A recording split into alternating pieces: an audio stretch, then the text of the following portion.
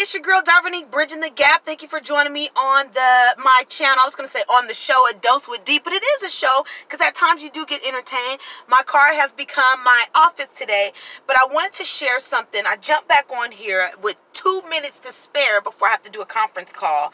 She might even call me in the in the beginning of this because her time might be a few minutes faster than mine.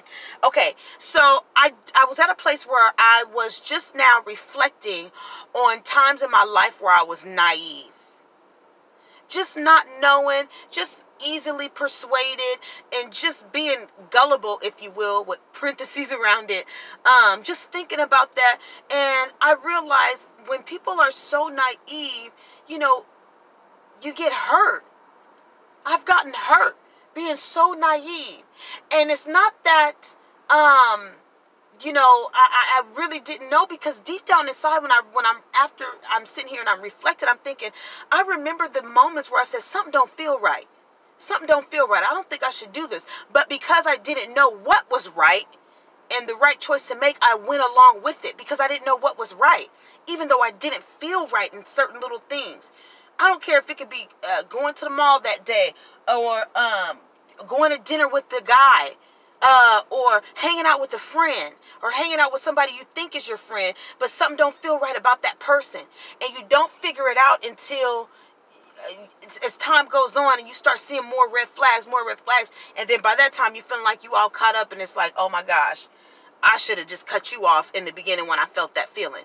So um wow just reflecting on that those those instincts that you feel those things that just in your conscience that something don't feel right it ain't it's not right because it's not for you. And the other person might feel totally perfect and in their right alignment and doing the right thing but it's not for you.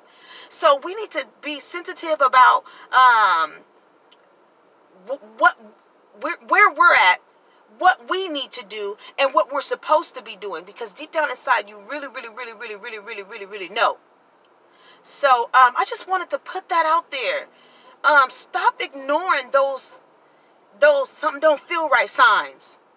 I ain't feeling it today sign.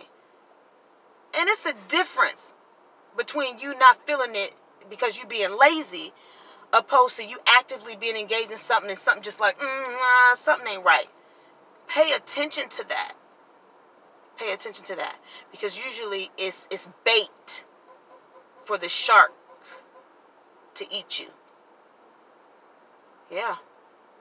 All right. That's all I want to share. This your girl D. Join me next time on a for a dose. Look, I can't even say it right. Join me next time on my channel, A Dose with D.